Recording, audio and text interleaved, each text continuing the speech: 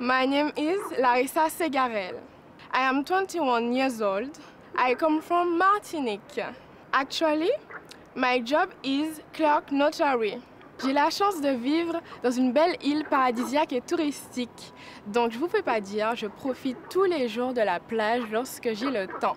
En plus de ce moment, je travaille en tant que clerc de notaire. Ce métier me passionne parce que pour moi, c'est un milieu très social en fait.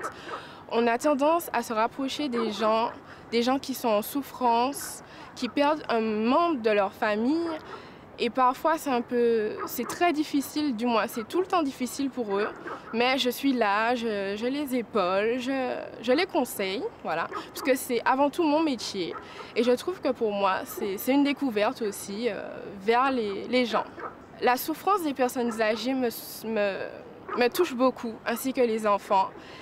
Et euh, à Miss Monde, je trouve que c'est une, bonne opportunité pour moi d'être là, de pouvoir aider aussi ces personnes qui sont en grande difficulté.